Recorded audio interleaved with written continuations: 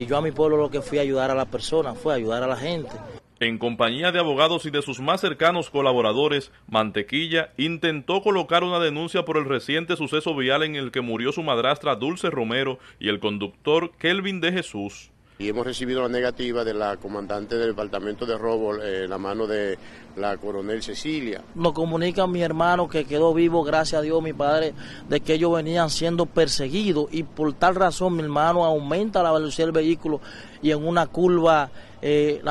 lamentablemente eh, perdió el control mi hermano por la velocidad, por la persecución que entendían, porque la gente sabían y hay como algún informante que sabían que ellos llevaban valores ahí dentro el popular emprendedor no pudo dar el último adiós a su madrastra ni al chofer que murió junto a ella, ya que por motivos de seguridad no puede ingresar a su natal Sabana Grande de Boyá. Porque hemos recibido amenaza directa de, de, de, amigo de uno, voy a llamar es amigo,